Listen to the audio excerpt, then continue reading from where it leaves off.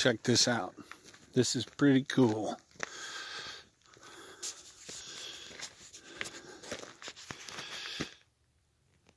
Have a nice view here once I get that brush pile moved out.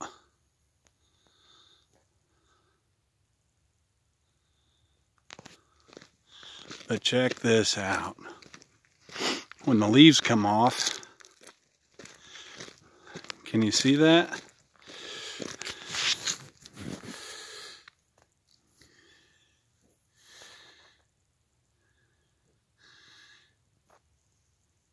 Can you see that reflection over there, that shiny stuff? That's the lake. So we'll be able to see that from the house and we'll be slightly more elevated.